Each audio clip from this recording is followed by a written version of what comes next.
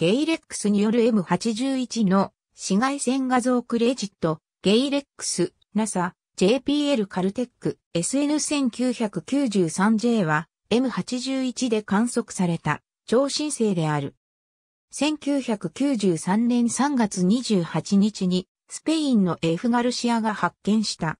当初 SN1987A に次いで20世紀に発見された2番目に明るい通型超新星であると考えられていた。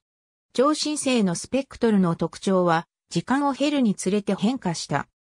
最初は強い水素の放出線があり、通型超新星のスペクトルにより近かったが、後に水素の線は消えて強いヘリウムのスペクトル線が現れ、IB 型超新星により似たスペクトルとなった。さらに SN1993J の高度の教示的な変化は通型超新星で観測される高度変化ではなく IB 型超新星のものに近かった。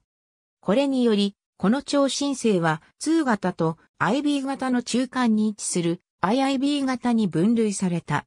この超新星から IB 型と IC 型の超新星は実際は通型超新星と似た過程で巨星が爆発して生じることを示唆した。またこの超新星は M81 までの距離を8.5プラスマイナス1.306光年と推定するためにも用いられた。爆発の光エコーはその後も検出された。SN1993J の祖先星は爆発前に地上から撮影された画像によって同定された。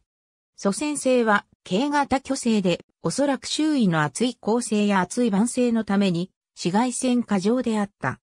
超新星は若く重い構成の集まる領域に位置したが、後のハープル宇宙望遠鏡や WM 欠点問題の10メートル望遠鏡による観測によって長い間疑われていた B 型超巨星の晩星の存在が明らかとなった。ありがとうございます。